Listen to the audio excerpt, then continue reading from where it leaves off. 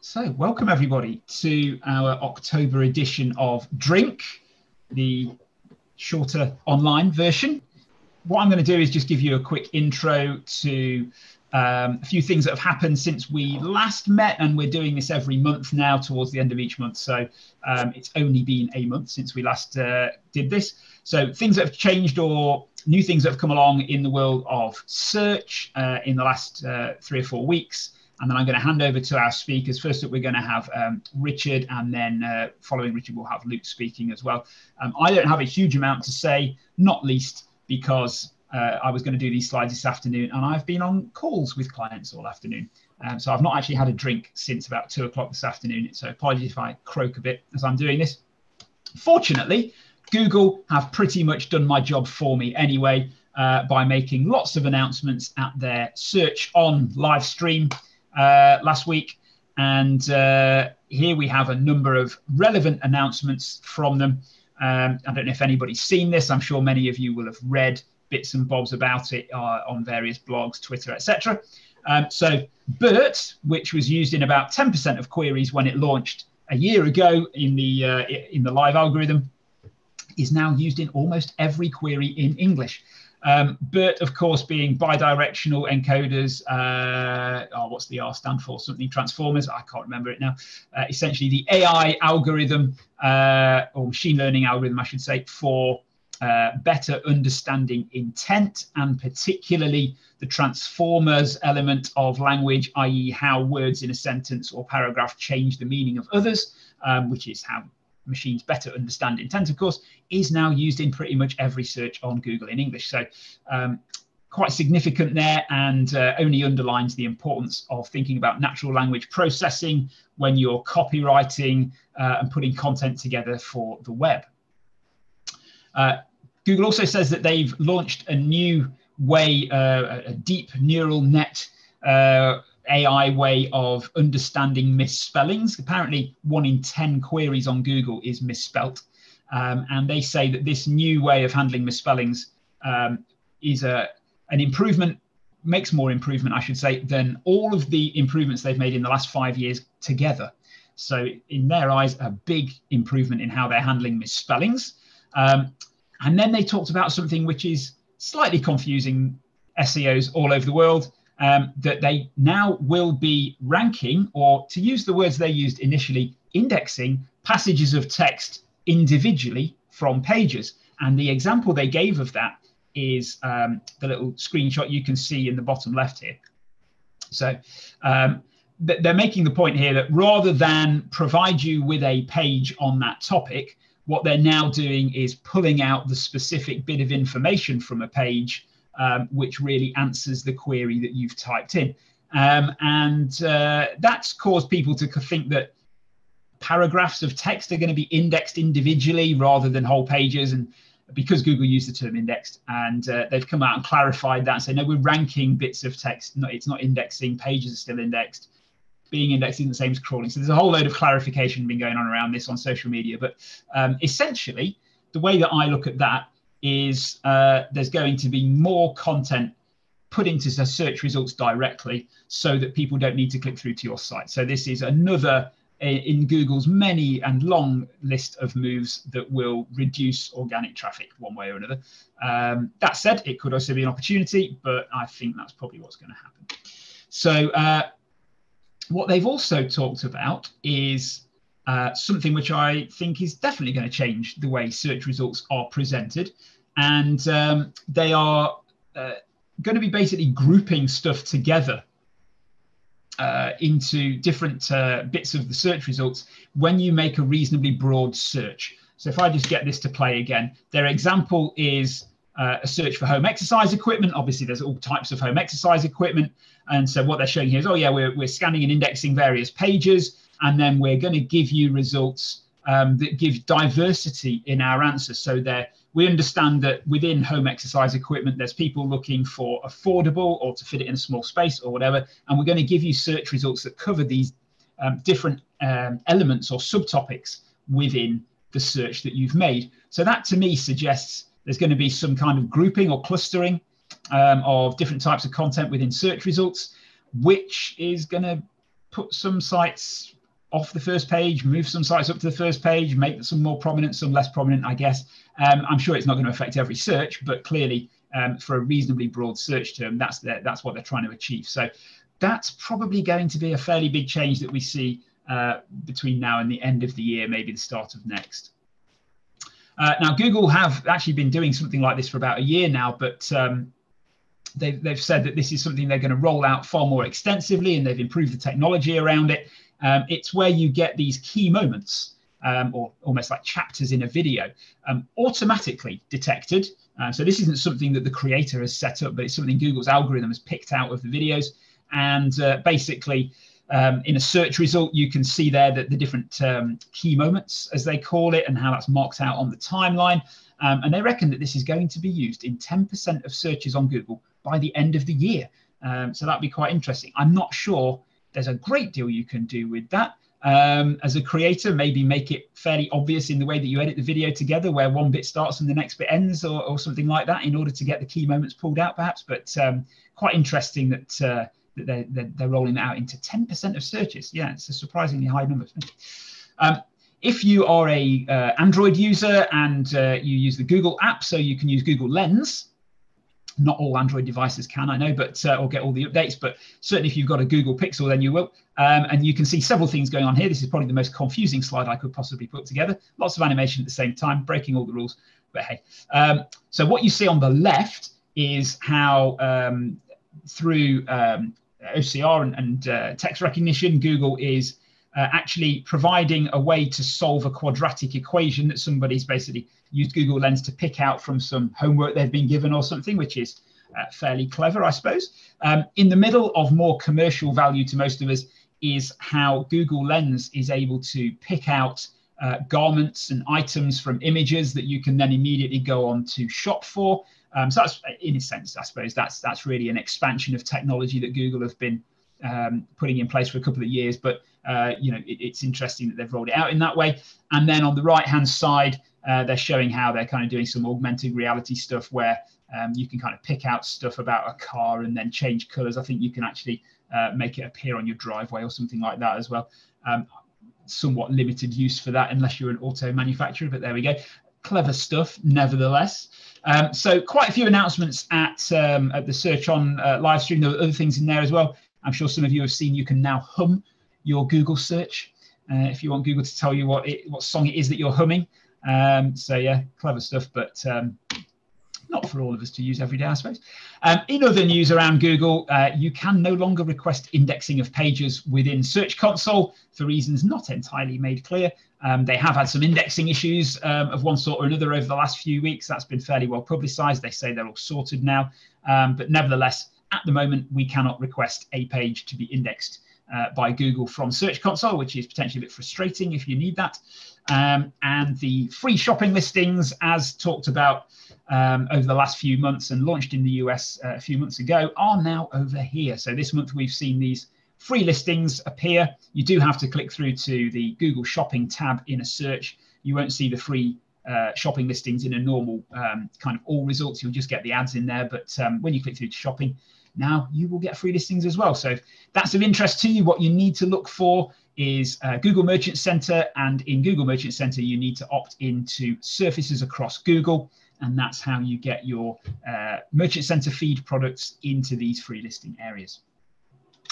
Okay, that's enough from me. Uh, suffice to say, we've already, with typical efficiency, scheduled the next drink, which is going to be on the 19th of November.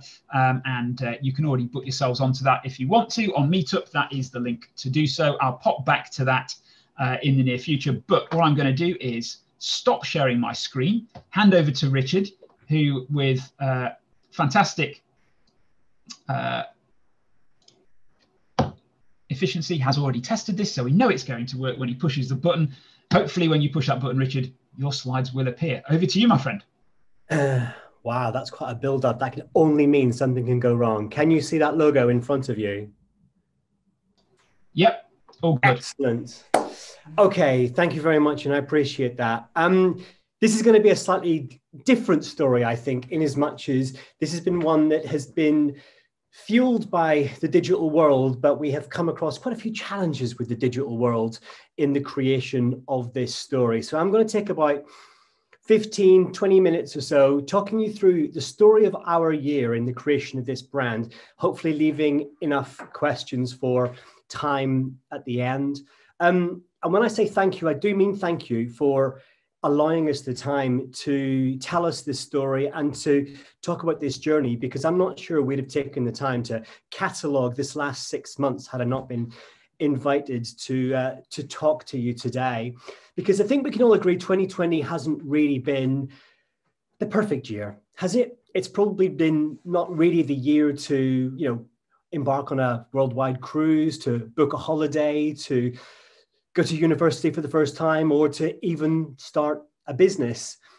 But we did and this is the story of how and why we did start our business in 2020 New businesses are always obviously really hard to get off the ground, but the unforeseen issues involved with the last six months are hopefully worth 15 minutes of your time this evening. So I don't think anyone really foresaw what was coming this year. Um, certainly not the man in charge, anyway. Um, but this is the story of how we created an e-commerce brand which has evolved in the most unexpected circumstances. To give you a bit of context uh, to this story, Trusted PPE is a brand new division of CCM Group, which is our parent company here in Nottinghamshire. Myself and my business partner, we've always thought about setting up an enterprise arm to CCM, which is his existing print media and creative business. And the idea evolved from our slight frustrations that certain brands, businesses, services, processes just didn't work like they should do we were always a, bit bemused by certain things, like the fact that there are more business coaches in the UK than there are actually business leaders in the UK. So I'd love to say our ideas were as a result of business planning, of whiteboards, of lots of Mintel insight and research and focus groups. But really, this came about from probably far too many conversations in one of Nottingham's very fine pubs about why brand fulfillment and customer service wasn't really important anymore. For us, it became a bit of an obsession. And the concept was that over time, we'd create a series of brands. They served a, a reason to exist, had a very specific role in the marketplace. And we'd spend a year or so creating and devising products and brands, establishing them, and then moving on to the next project. All created by the same team, by the same exceptional customer service, by the strongest marketing and backed by the most substantial market intel. So PPE wasn't really the plan for us. It was a complete accident. It just so happened that PPE as a product was very timely and it actually served as a good opportunity for us to test if we could actually do it. And if we're going back to March, April, May time of this year, PPE just happened to be something that uniquely we were able to source from existing reliable manufacturers in CCM's existing supply chain at a time when nobody else seemingly could.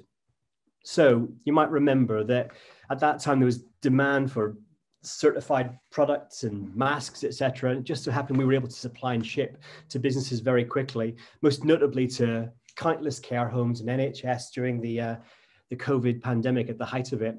And while the row over PPE supplies to the NHS and care homes continued in the press, our insight was that families, households, and small businesses would soon be requiring not just products, but a bit of advice and support to get their way through this marketplace.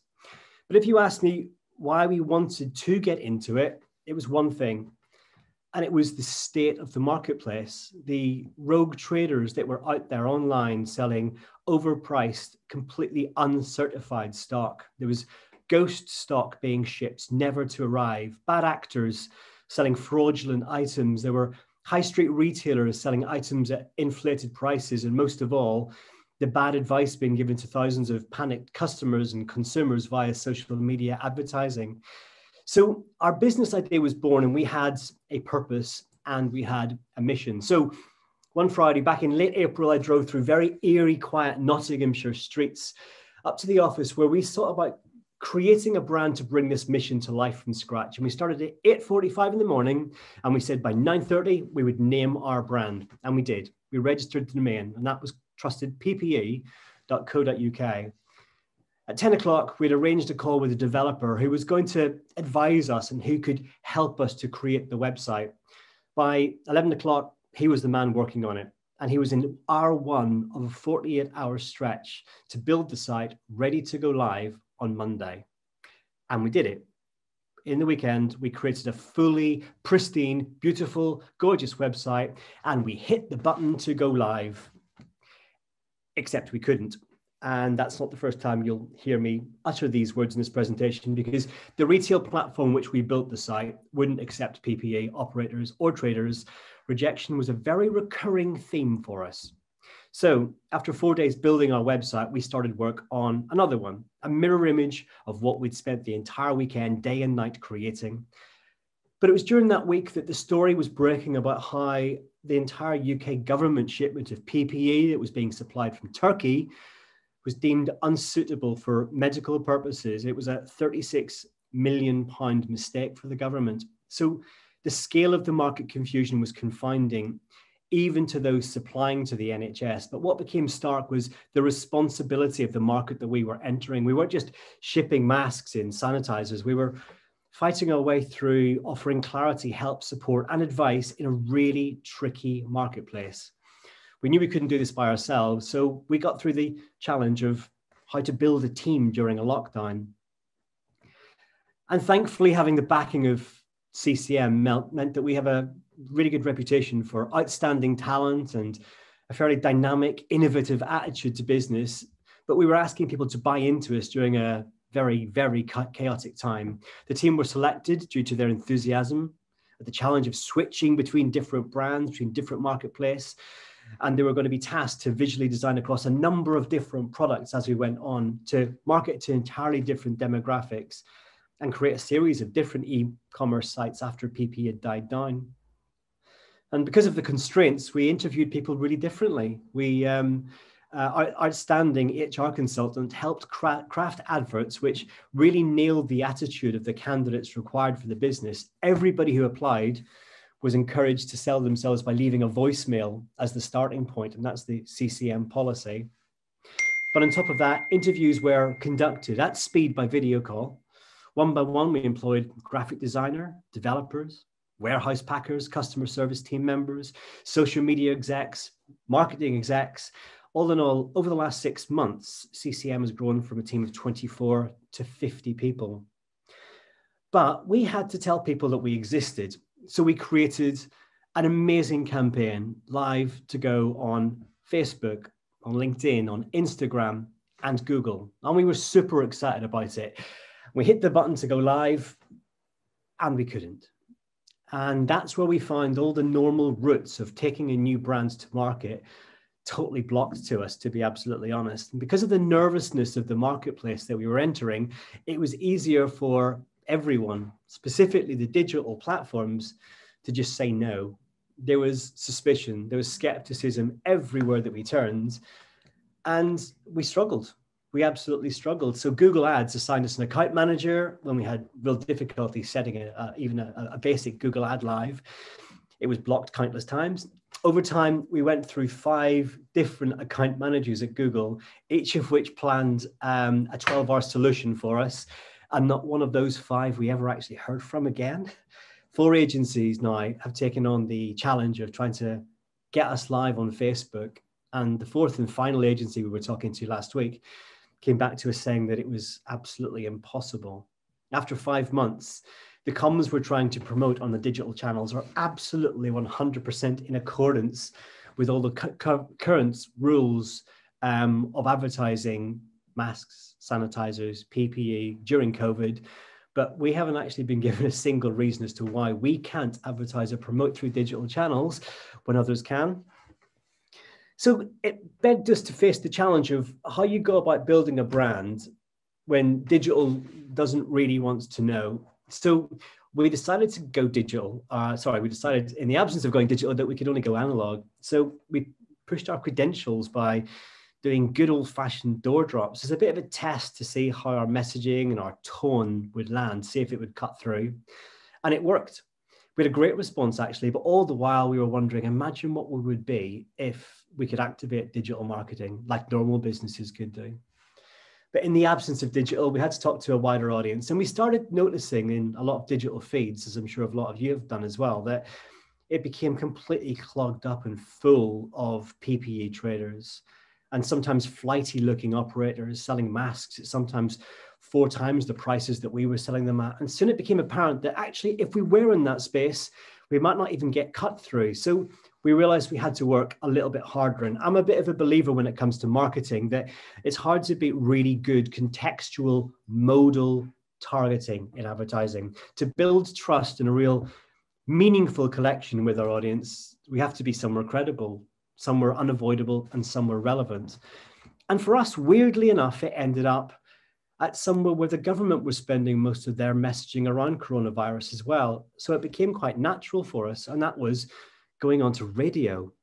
So we looked at where the government were advertising, and we decided to follow them literally, so that when government advertising was going out to millions of people on a daily basis on national radio stations, we would follow them. Only call NHS 111 if you can't get online or your symptoms worsen. Protect yourself protect others, protect the NHS. COVID 19 continues to impact our lives, but with filtering face masks and washable, reusable face coverings from trustedppe.co.uk, you can help protect yourself and others from the virus. Order before 4 pm weekdays for same day dispatch from trustedppe.co.uk. Rated excellent on Trustpilot. And because radio was a low avoidance medium. We were able to kind of cut through under the radar when people were in a more relaxed mood state, when ad avoidance was low. We were also talking to millions of people at a time when people were tuning into the radio to, for news, for advice, but also it was a bit of a background to people while they were setting up, you know, home offices and working from home for the first time in years. Interestingly, it made us work a little bit harder to see what digital um, opportunities we could explore with audio. So we were able to explore things like digital streaming services such as TuneIn, Spotify, and DAX. And we were able to play city specific copy when relevant. So, for example, when cities such as Londonderry or Manchester faced rising and quite severe COVID infection rates, we were able to supply creative which specifically talked to those listeners and upweighted them whenever the uh, whenever the numbers rose. We're currently developing how to stream postcode specific mentioning um, areas. So, for example, if you're in Glenfield in Leicester, we can specifically mention Glenfield in a piece of copy, while somebody else listening to the exact same message will hear a completely different region. Using Google Play, Amazon Alexa, and digital radio, we've discovered all these very interesting things you can do with digital audio in 2020. But where things started to surprise us in this digital e-commerce model that we've created was that we were expected to be quite a one-way relationship. We were fulfilling customers' requests and giving them some advice online. But what we didn't expect was that it was going to be a bit closer than that. It wasn't distanced, it wasn't removed. The customers really became talk, came to talk to us directly and they really really wanted to talk to us as well.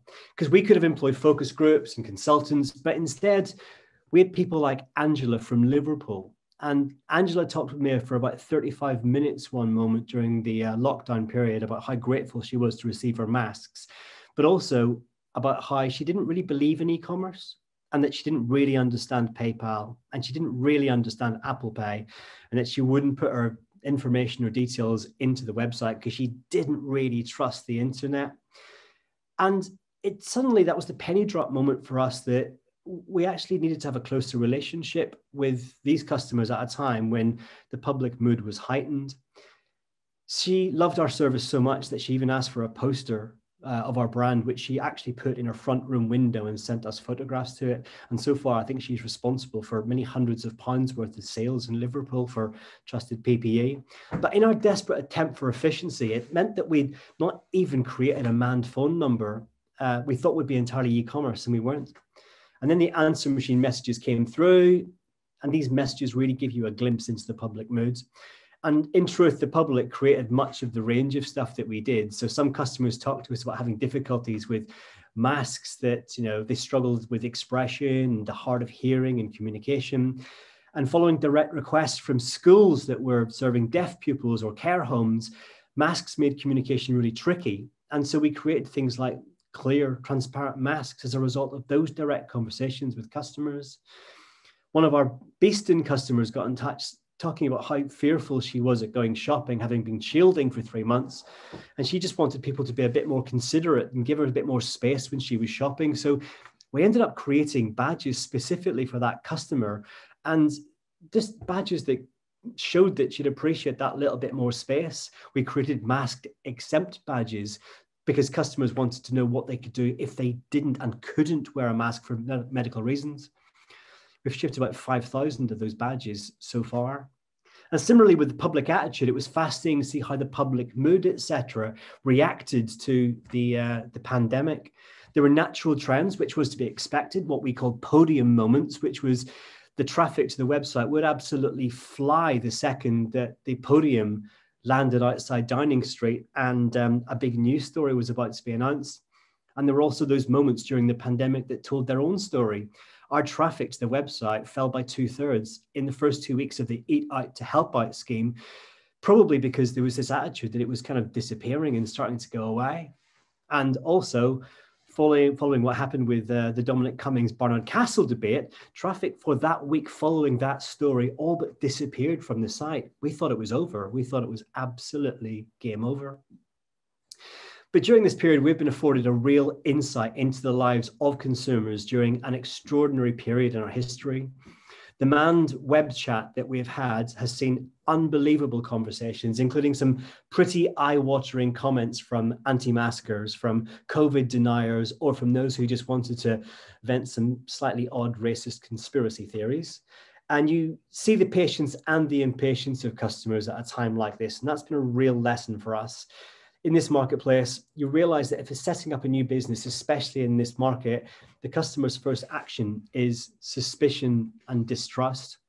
And this is an example of uh, a, a, very sincere message that we sent out to a customer explaining that there was a delay to this customer's masks due to the, the, the uh, supply um, issue. And the customer responded back by suggesting that it was written by a bot, a digital system, an automated response explaining that uh, I'm sure that James Clifford neither sent the email nor is he reading this email. He did not draft the email either. Whereupon Jamie, who did craft the email, went straight back and um, connected with the customer again, only for the customer to be slightly surprised that we were real people doing a real job in a warehouse in Nottinghamshire doing this for the public good. But the timing has been incredible and it's something we'll never really forget. The business world has been in hibernation and specifically with advice, support, infrastructure, we've really struggled. Week after week, we reached out for explanations as to why we struggled with our digital output, why we couldn't get it to go live, and we were struggling to get any human being to talk to us. At one point, our shopping platform, we used Shopify, withheld every penny of our customers' money from us while they reviewed all certifications of everything we were selling on our website. That lasted for five weeks. And after sending all the certificates to them to be reviewed, we received a very short thank you carry on email from a very unnamed Shopify email account. So, has it worked? How have we actually survived? And why are we sitting here today telling you this story? To conclude, today marks 175 days since we actually started this brand. And can you launch a brand without any real substantial digital marketing support? I think the answer is yes, but you have to work quite hard on it. Today marks the 175 days, but we've shipped over 20 million items of PPE across the UK in those 175 days. We've got 30,000 customers now and a returning customer rate, which is currently somewhere over 35%. Over 10% people who visit the site purchase, which we're pretty proud of. We're thankfully rated excellent on Trustpilot, which isn't particularly easy to do in this marketplace. And as of this week, we are now um, in several high street retailers who've reached out to us to want to stock our products. But what are the shareable lessons about all this? What have we learned? Well, we've been afforded a real insight into the lives of our customers during this extraordinary period in our history. The man's web chat has seen just absolutely unbelievable stories, but also some really heartwarming insights into the public. But we've strayed, stayed absolutely true to the vision that we set out back in April. The underlying true belief that what you're trying to create, and if you do it right, extraordinary stories can emerge in the most difficult times. We set out to create a pure e commerce digital business as automated as possible. But in the end, it was the two way relationship with the customers, their experience, their thoughts, their fears, their advice, and their direction that shaped this journey that we've been on. So, where do we face the future now? What does it look like going forward? Well, for us, we've very much tried not to demonize the mask. We know that this virus is one that we're going to have to live with. So, we've developed things like Halloween variants, and we're about to launch a brand new Christmas line along with a partnership with a national UK charity. We're going to donate all proceeds from an exclusive range of um, uh, Christmas cards to help those dealing with loneliness this winter, firmly embedding the brand essence of this, you know, this this this this brand outlet, support, relatability, and compassion we think it's going to be quite a tricky winter for a lot of people. And that's why we are really reaching out to them. And we're even doing things like a wellness advent calendar as part of our website, just to really appreciate what people are going through. And that has come from the direct two way relationship and the conversations we've been having with our customers. And what's interesting is that despite the digital platform, we've probably been able to gain quite a lot of um, traction, more attention than we thought possible we felt quite touched by the plight of the students who were returning to uni, and we instinctively decided to send like care packages 500 boxes full of treats, mindfulness exercises, masks, pizza vouchers, etc. And interestingly, the press, the press really picked up on it. We've been interviewed by ITV and BBC News. So we find ourselves pushed into spaces that we never really thought possible. And in truth, we've been waiting for the window to launch our next brand, and we're really excited about it. And we can't wait to reveal where we're going next because we thought we'd be done now with PPE. We thought COVID would be gone. We hoped we'd have seen this pandemic off and we'd be back to some kind of normal and we'd be able to share stories like what I'm telling you now face to face in a room rather than via screen. But sadly, it's not been the case. I think businesses will have to live with this pandemic for years to come, and the repercussions of it will stay with us for a long time to come. And many of the harshest lessons we might not have even learned yet. But wherever we go next, the lesson is that in adversity, it's fascinating to see how you can be energized by a no, how you can be spurred on by rejection, and driven by the power of a proper two way relationship with the consumer. And here's just a few of the people that we've spoken to over the last few months. I'm very old and I don't use the internet. I really do need them, otherwise, I'm not going to be able to get out of my house. Um, I'm not a key worker, but um, I've just had a message come up on my phone for my surgery for uh, needing to wear a oh, Good morning, darling. Um, I don't use the net. I haven't got a computer or anything. I would appreciate. Oh, hello. Um, I can't. I'm not on internet, so I can't use your, your web. And I'd like to place an order for some for some masks and some sam, hand sanitizer, please. If you could call um, me Mr. Johnson has mentioned now that everybody's going to be starting back to, to work and going to work as normal there's not a single person that left a message for us that we didn't call back and speak to. And if we had tunnel vision, I wouldn't be presenting to you this evening because this pandemic has thrown everything absolutely upside down. Our successes have come from the no's, from the challenges, from the inability to use digital to its full potential, and from having these really close relationships with our incredible customers, customers as we have worked through and built this business during what has been an absolutely extraordinary time. Thank you. Many thanks, Richard. That's a really, really interesting story. I think it's fair to call your business high growth.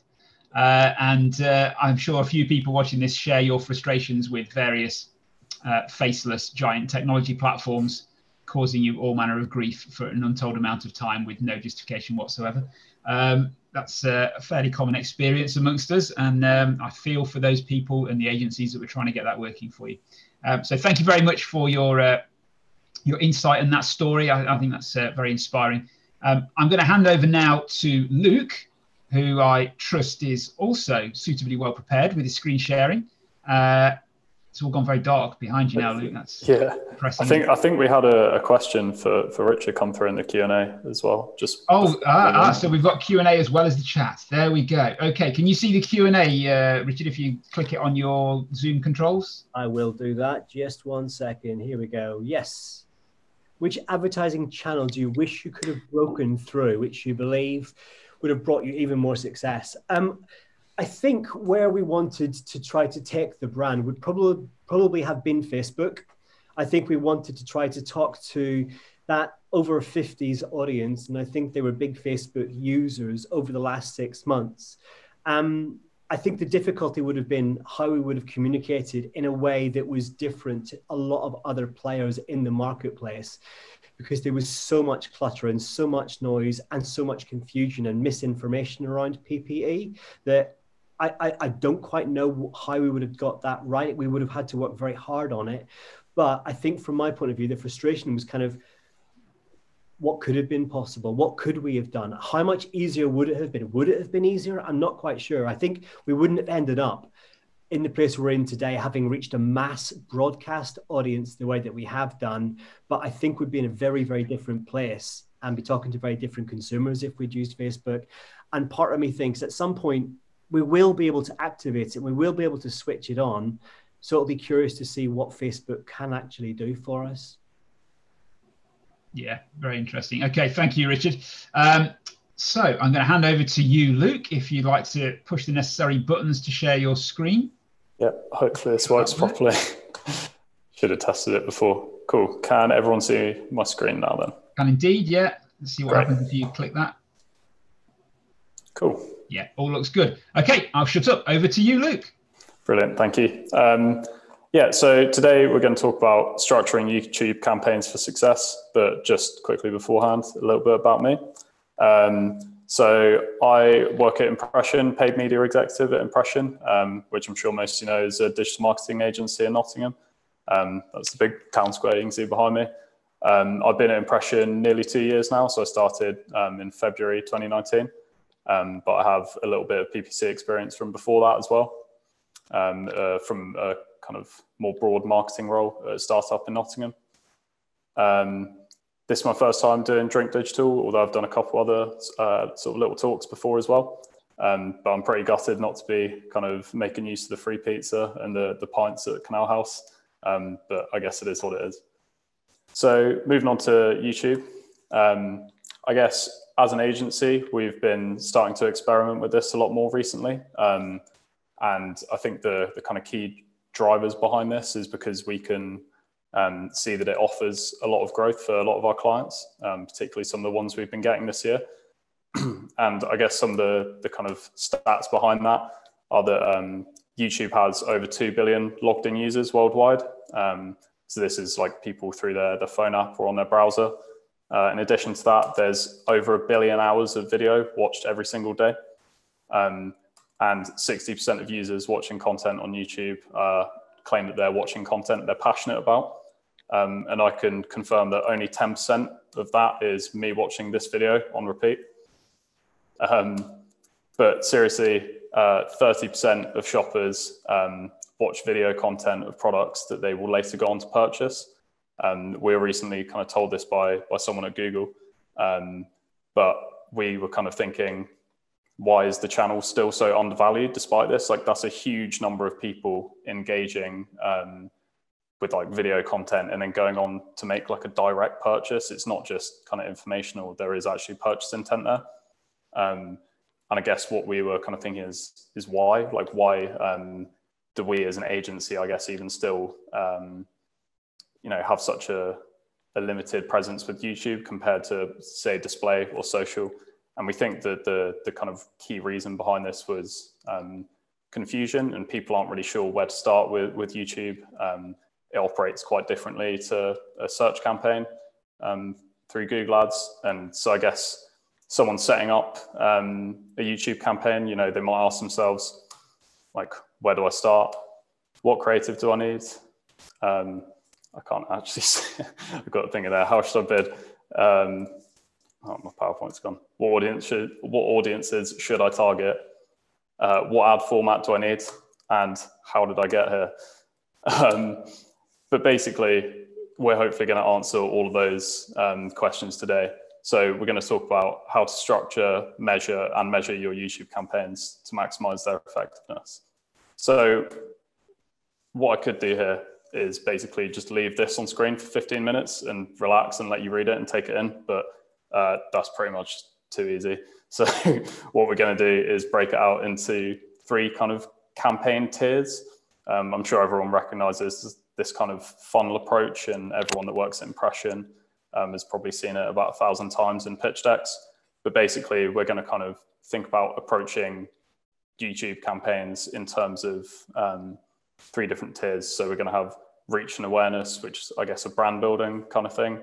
Um, consideration and interest, which is trying to get more people to start engaging with your brand. Um, and then action, which is obviously getting people to convert through the website or through the phone, however the case may be. Um, so for each one of these, starting with reach and awareness, what I'm going to do is kind of try and answer some of those questions which I just mentioned. So um, we'll talk about what kind of ad types need to use, what audience targeting you should be going for, um, how you should sort of set KPIs and measure things, um, and how you should approach your bidding as well. So jumping right into reach and awareness, um, the ad type that you're um, primarily going to want to use with these will be non-skippable ad formats. Um, so that can be six second bumper ads or 15 second non-skippable in-stream ads. Um, the reason that we want to use this is, is, basically if you give a totally cold user that you'd be targeting in this kind of reach campaign the option to skip, they're, they're definitely going to skip. Um, basically, you want to literally force the user to watch the ad. Um, I suppose you could argue that um, like ads that you can't skip are kind of annoying or you know it gives you a negative opinion of the brand but i think realistically um, you're never going to be able to kind of convince all of the people that you're reaching with such a broad campaign that you know you're the kind of brand that they want to engage with but critically you are getting in their head and there will always be a portion of people who remember you because they've seen these ads and aren't annoyed by the six second like bumper ad that you can't skip. Um, and they you know they are kind of more likely to move further down the funnel. So at this point you want to use this kind of ad, ad type because it is literally just about forcing people to be aware that you exist, not even educating them or trying to get them to do anything. It's just about telling people that you're there. And, you know, six seconds is perfect to do that. Um, you know, you can actually pull up some figures in, in Google Ads about, um, you know, the, the engagement with these kinds of ads. So there's a, a metric called video played to. Um, and what this kind of shows is how far users get through um, your ad video uh, and like the percentage of users that get to that stage. So you can see that some users, when they're presented with a non-skippable ad, they do actually just close the window straight away or close the tab straight away. Um, they don't even make it a quarter of the way through the video. And so I guess in this example that we had, which we ran for a client, um, it was sort of getting on for 10% of those people. Um, however, when it kind of progressed further through the non-skippable video, the drop off was, was, much less. So by the end of the ad, um, you know, over 85% of users were still kind of watching the video and they proceeded to, to watch the rest of the video afterwards. Um, so it does kind of show you that just putting it in, forcing someone to watch it doesn't necessarily make them uh, so annoyed by it that they're just going to turn the video off in, in the, the vast majority of cases. Um, so moving on to audiences with these kind of campaigns, uh, there's kind of a couple of options here for sort of a, such a broad, um, you know, awareness campaign. And these are detailed demographics and uh, affinity slash custom affinity audiences. So, you know, detailed demographics are things like, um, you know, parental status, homeowner status, that kind of thing. Um, it's like bits of information about people's life that is more specific than just gender or age, um, and then affinity and custom affinity audiences, and what we've kind of the approach that we've taken with these in the in the past at Impression is, um, especially for custom affinity, um, pulling out like a, a, big detailed list of competitors for the particular business that we're um, you know running the campaign for, and then just inputting all of their um, websites into a custom affinity audience. Um, essentially, like what Google is going to do here is then like match those up to people who are like vaguely interested in the same kind of service that uh, the business is offering, and as such, they're good to target to alert, like give them awareness of your brand, but they haven't necessarily shown any like more specific engage, engagement with um, that kind of business to justify putting affinity audiences into like the next stage of the funnel. Um, you know, we want to be showing these kinds of ads to people who probably haven't heard of you, um, and we're going to be forcing them to watch the ad because of the ad type that we're using. So, um, you know, we don't want to be using that for like further down the funnel kind of audiences of people who might be a bit more engaged. Um, I think I've seen a couple little questions pop up, so I can't. Um, I might come to those at the end, so that might be a little bit easier. But yeah, yeah, okay, I'll just carry on for now. Um, so yeah, just moving on to bidding for the reach campaigns, you basically realistically only have one sensible option here, which is um, target CPM. What you're doing um, with target CPM is basically like targeting a certain cost point for a, a thousand impressions. So in the, the example we've got here, um, I think we had a, a five pound target CPM. So a thousand impressions was, uh, Google was aiming to spend five pounds per thousand impressions. Um, the reason that we will use this kind of bidding strategy for such a high, high up in the funnel campaign is because um, these campaigns are almost never going to convert. So the KPI isn't a conversion and it's not, you know, anything even really more than an impression or, or reach or frequency or that kind of thing. You might not even get clicks really with, with this sort of campaign because it really is just putting your ad in front of someone. They're just gonna like probably watch it, not engage with it at all, and then go to the video, but it's just getting in their head. So, you know, out of um, over 100,000 impressions with this these two kind of non-skippable campaigns we had. We had only 55 clicks and not a single conversion. Um, so setting these kind of impression and, and reach KPIs um, are really important for these kind of uh, top of the funnel campaigns. And you don't want to get caught up in, in chasing conversions. And that's why you want to use this kind of really high level um, target CPM bidding strategy. So moving down the funnel onto this kind of consideration and interest campaign, um, the aim of these campaigns is, you know, it's kind of what does what it says on the tin. Like um, you're trying to get users to engage with your brand a bit more, but not necessarily to take action at this point. So the ad type that you're going to use for these um, is skippable in-stream ads. Uh, you know, the aim of this, these campaigns is not to like piss people off. You just want to be driving a bit of interest using the slightly longer ad format that in-stream ads offer. Um, so you can have these up to a few minutes if you want, but um, they'll always be skippable after five seconds.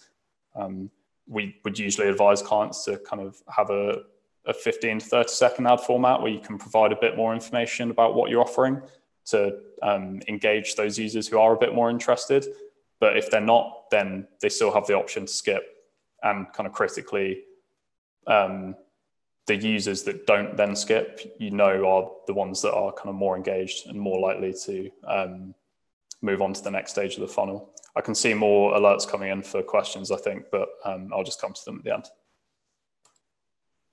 Um, so audiences for consideration campaigns, it's kind of what you would expect. So um, in market segments, which is audiences that Google um, have identified where people have shown a particular kind of purchase interest or um, you know engagement interest for specific topics um, and kind of business categories, I suppose. Um, they kind of match up perfectly with this kind of campaign. So it's people who are likely to take action in a certain industry or likely to kind of click through to a website. Um, you can layer those in with your audiences here. Um, but something else that I don't know, you might be kind of less common is something like life events, which um, you know isn't relevant for every business. So an example that we have for this is uh, the kind of example that, that, I've used a couple times now was actually a car insurance company for younger drivers. Um, and one of the life event uh, attributes that Google lets you target is um, people who've just graduated from university. Um, so through uh, targeting like that really specific age range and people who you know might be getting a car as a gift for like graduating or something like that. Um, people luckier than me i guess. But um, you can really like nail in uh, or home in rather on that specific kind of audience. Um, and i guess the the final option here that you might not consider is um, similar audiences. So you know these will be could be completely cold users that um, you know haven't engaged at all with your brand before but they're just matched up by google to be really similar to users who have purchased through you or have shown like really strong engagement on your website. And what this does is just kind of broadens the number of new users you can reach a bit further up the funnel. But um, you know who are likely to have a high, higher level of engagement. It doesn't necessarily mean that they've demonstrated that they're going to, but they're just more likely to because they, you know, show certain similarities. So, like all the all of these three um, audiences do really match up quite well with the kind of campaign you're running here and the kind of ads that you're going to be showing. Um, and finally, for consideration and interest, uh, you kind of have a couple options with bidding. So you could just go for the same um, target CPM strategy.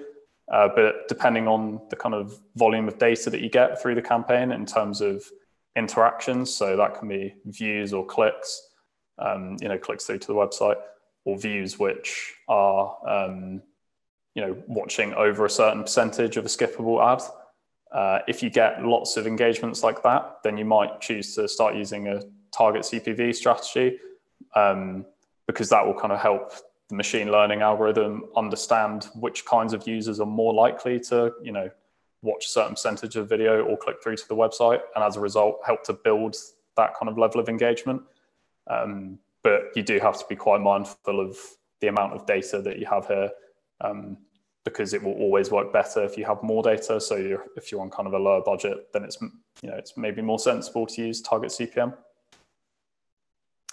So moving on to action campaigns. Um, you know, this is kind of the same sort of ad type as we have uh, with um, the consideration and interest campaign. Um, in that you can still you're still likely to use kind of skippable ads because if these users are already engaged with your brand, you don't necessarily need to like force them to do something. You can just keep putting in front of them as, as a bit of a reminder. Um, but another option here that you might want to layer in a bit more um, at this stage of the funnel is TrueView for, for action um, ad types, which is basically the same as a skippable in-stream ad, um, except you get this quite prominent CTA as well.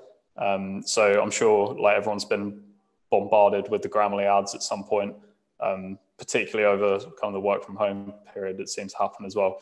Um, but yeah, you do get this little banner across the bottom of the ads with, you know, like it's free in a big um, kind of eye-catching button. So seeing as the purpose of these action campaigns is to drive users to complete a goal, um, it's much more appropriate to use these kind of ad types, which are actually encouraging people to, to do something rather than just trying to put your brand kind of in, in front of them or tell them a bit more about what you have to offer. Um, in terms of audiences here, it's for the most part what you would expect. Um, so remarketing and customer match audiences, you know, people who've already shown like they've demonstrated engagement with your brand and they just need help to get over the line. Um, I think everyone would kind of know to do that already. But uh, customer intent audiences seem like a bit of a curveball here in that you wouldn't necessarily think, okay, well, cu- like customer intent is just assuming a user's intent to do something based on keywords um, or you know search terms. So the example that we've got here, which is um, for the same car insurance company of the custom intent audience we created for them was basically just a, a list of like the top few hundred search terms. It does go on a lot further down than this. You can only see a, a small amount of it. Um, just take a look like the top few hundred search terms, put it into um, this kind of people who match purchase intentions with these search terms um, in the audience builder and then apply this to the kind of remarketing campaign. Um, we were kind of we heard about this from one of our Google account managers um, as a technique, and they were saying that they'd seen good results with it with other agencies and such. And we were pretty skept- skeptical about it to begin with because you know custom intent you wouldn't imagine that it would work as well as remarketing for this kind of thing. But we were actually really surprised with the results that we got. So in July, um, you can see towards the end of the month, this is for all video campaigns as well, not just the remarketing campaigns. Um, upon the inclusion of uh, custom intent audiences within our kind of bottom of the funnel action campaign, um, we saw a massive spike in conversion volume across all video campaigns um, and a really significant and stable drop in CPA as well. So we're going from, you know, between one and four conversions per day um, up to 40 at one point. And it really was like an overnight change.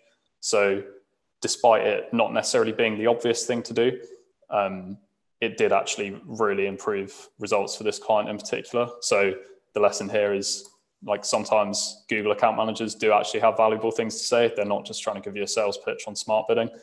Um, so yeah, it is a really valuable tip to take away um, and probably one of the most kind of interesting and, and, unexpected things we've learned with, with structuring and setting up YouTube campaigns so far. Um, and then finally, uh, bidding with these kind of action campaigns.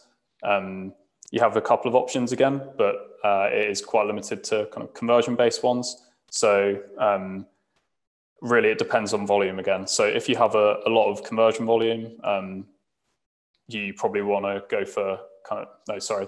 If you don't have much conversion volume, you probably want to go for kind of a maximized conversion strategy. Um, whereas if you have much more conversion volume and you're kind of looking to reduce the CPA at which you're achieving those um, and just like incrementally increase the amount by doing so, then target CPA might be more appropriate. Uh, realistically, you need quite a lot of volume to make either of them work. Um, but hopefully, if you're running this kind of full funnel YouTube campaign alongside other stuff, then you do start get start to get that volume. Um, so, kind of moving on to measurement, I've kind of touched on this a couple of times, but measuring uh, the results of YouTube campaigns is is quite different to a standard search campaign. So you're not necessarily just looking for conversions, um, and it's not you, you know, it'd be wrong to um, pause a reach or awareness campaign because it's not driving any conversions. So, you know, what do you look for instead as a, a good measure of success? And I mentioned kind of impressions and, and reach and that kind of thing. But, you know, there's a few more things that you can do to try and um, evaluate the impact of these, these YouTube campaigns on the bottom line. Um, and the first one these is kind of an obvious one, I guess, is view through conversions which is a metric available in Google Ads, um, which kind of counts when a user saw a YouTube ad and didn't interact with it. So, you know, they could have just skipped it, um, but then later converted through another channel. Um, realistically, all of your YouTube campaigns will get um, like many more of these than, than regular conversions. Um, and especially in kind of the remarketing campaigns, you, you should probably expect an awful lot of view through conversions compared to regular ones. Oh, the light's just gone off in the room. Hold on. We're back. Um, so, where was I? Yeah, you probably expect way more of these in your remarketing campaigns. Um, I guess primarily because if someone, if a user has already been engaged with your ad um, and they see it again on YouTube, you know, it's probably not the, the kind of time that they're uh, ex- expected to convert. It's just keeping you refreshed in their mind, and then they'll like, you know they'll come back to the website later and convert. Um, so view through conversions is like a really important metric to monitor. Um, it's worth mentioning, I think, that to track these, you can't just use imported Google Analytics goals. You have to set up a, a Google Ads um, conversion tracking tag as well, um, like a native Google Ads tracking thing. Um, so in order to do that, you have to kind of set that up um, beforehand. But it's really valuable for kind of judging um, the wider impact of YouTube campaigns. Um, in a similar sense, for getting kind of uh, the bigger picture of what's happening um, with your campaigns, uh, you can look at the top conversions path report in Google Analytics. Um, what this kind of lets you see is like the actual stages in the, the user journey um, on the way to a conversion, and you can kind of identify where video campaigns do sit within that journey. Um, this is actually a lot more useful if you set up your channel grouping properly.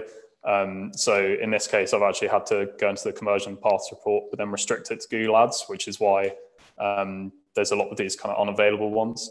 If you've set up your channel grouping properly to have anything with a camp, you know, campaign name of, of video, um, to then uh, like be shown as video in your default um, campaign grouping, you'll be able to see it within, um, you know, where it sits next to organic search or paid search or social, and you can try and get like a broader picture of the the whole kind of conversion journey, um, and where like video is kind of responsible for conversions there. And then finally, and, and probably most interestingly, um, organic search lift is, is something that we've been looking at um, to try and identify the overall value um, of kind of YouTube campaigns like outside of paid entirely.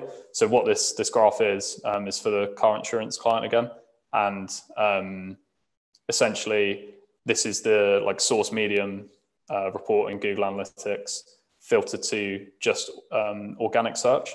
Um, and then we're looking at a graph of new users from, I think this is from about March until like today. Um, and obviously it's, you can't sort of look at the first couple months of it um, and say like it's statistically significant for obvious reasons. But what you can see is the period when we've had um, YouTube activity running uh, for this client, there was a notable um, increase in new users through organic search when we first enabled the campaigns, and then a noticeable drop off when we paused them as well.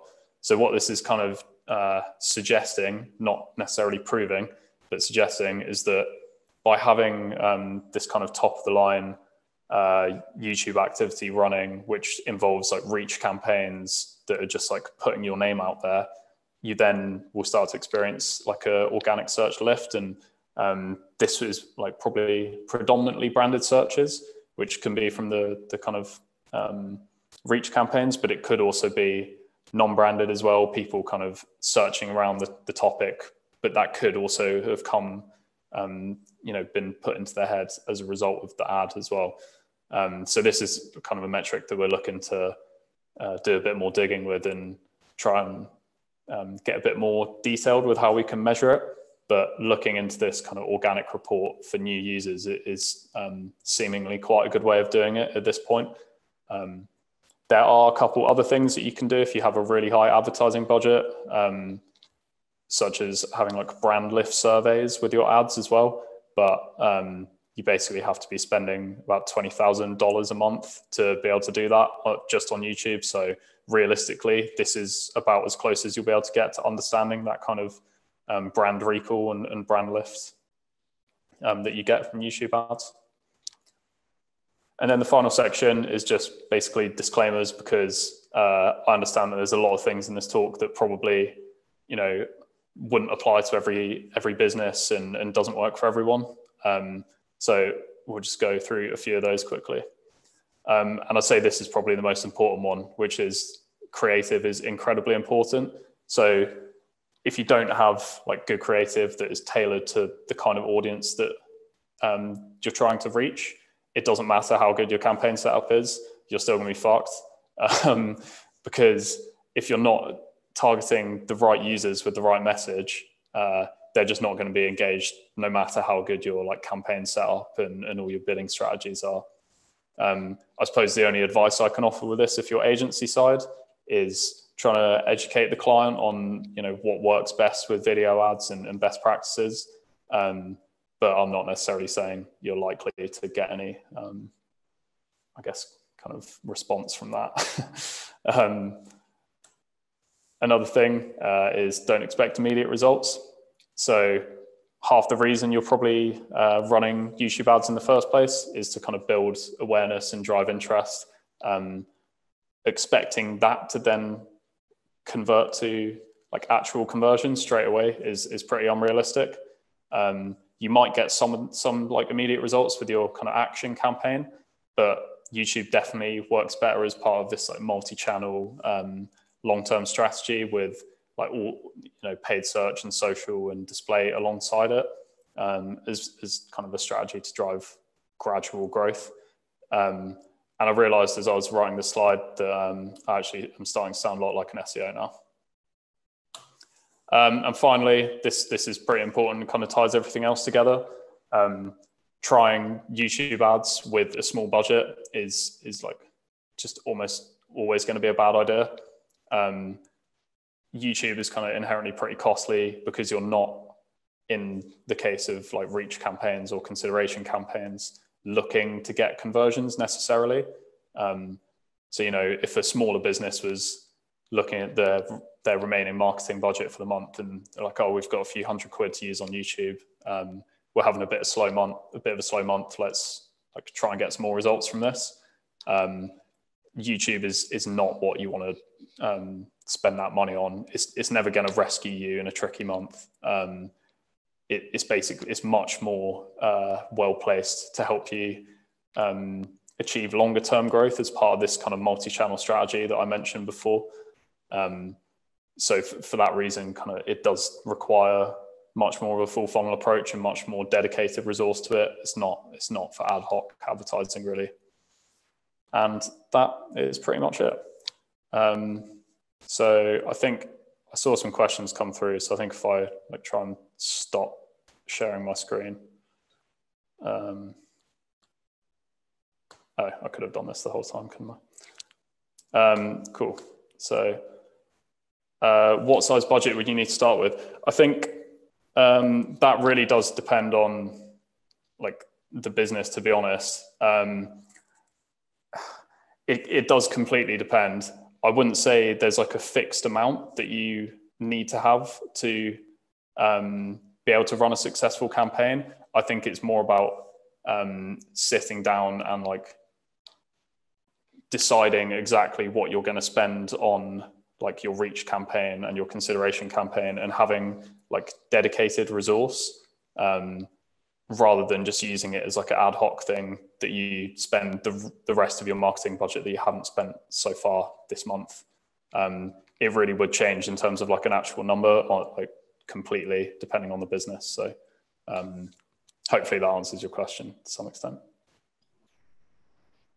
Many uh, thanks luke. Uh, really appreciate that, and uh, yeah, good insight there. I'm Interested in the um, uh, some of the things you've seen in there, and uh, yeah, the, the bump in or drop in organic traffic, depending on whether the videos were or not, is quite an interesting one for me as well. So uh, hopefully we've got some things there. We've got another question coming here from um, from Nathan. Uh, it's uh, one for you again, Luke. If you can read that. Mm-hmm. You go for that one, Matty. I'll um, Yeah, sure. So the question is, what is an appropriate time frame and budget for each stage? Um, and the example is safety training company advertising courses locally on a county level. So I guess appropriate time frame and budget.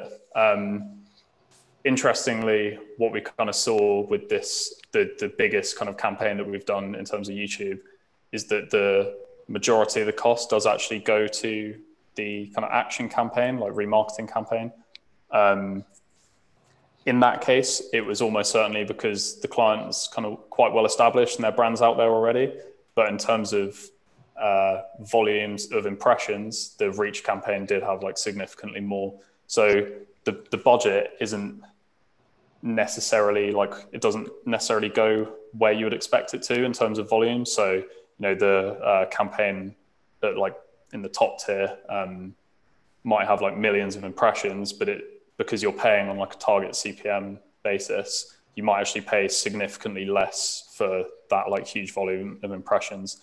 So I'd say um, you'd have to kind of ultimately you do want to spend more in, in areas where people are going to convert. So what I'm in a roundabout way saying is don't underestimate how much budget you'll need for the remarketing or the action sort of campaign, especially with the inclusion of custom intent as an audience in there because it does like open it out a little bit too.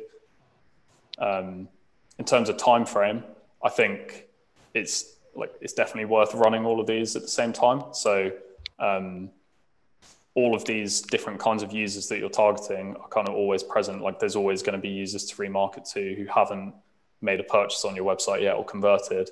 There's always going to be some who haven't engaged with you yet, um, but are like demonstrating interest in similar areas. And there's always going to be people who are totally unaware of you. So I wouldn't I wouldn't say that this is something you should do sequentially.